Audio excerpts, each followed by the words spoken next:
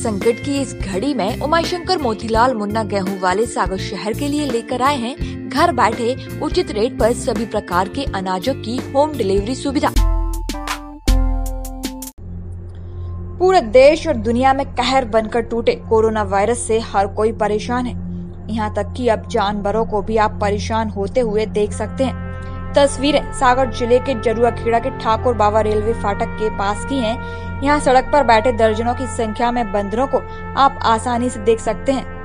लोग यहाँ से जब पहले गुजरते थे तो इन्हें बंदरों को कुछ न कुछ खाने को ज़रूर देते थे। लेकिन अभी स्थिति बदलने के बाद हालात खराब हो गए सड़क पर बैठे दर्जनों की संख्या में बंदर लोगों के आने का इंतज़ार करते हुए देखे जा सकते हैं। लोग शहर और ग्रामीण क्षेत्रों में तो गरीबी, असहाय, निर्धन, दिव्यांगों और बाहर से आने वाले समाज से भी उन्हें खाना खिला रहे हैं। साथ ही शहरों में मवेशियों को भी कुछ न कुछ खाने को मिल रहा है। लेकिन ऐसे जंगलों में इन बंदरों की स्थिति बेहद नाजुक है। आवागमन पूरी तरीके से बंद हो गया है, जिस कारण से इन बंदरों को कुछ भी खाने को नहीं मिल रहा है।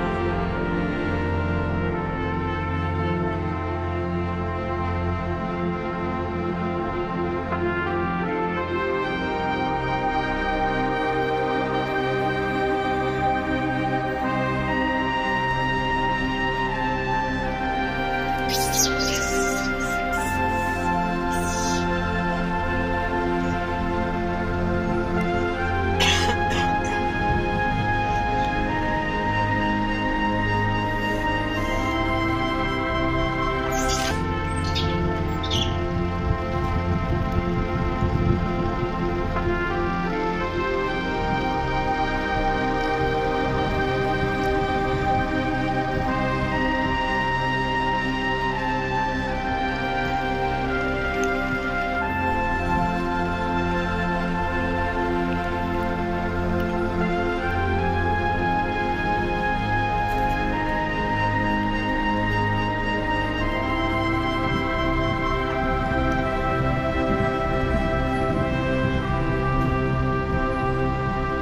खुरई से मनोज वाधवानी के साथ जड़ुआ खेड़ा से मनोज राय, सागर टीवी न्यूज़।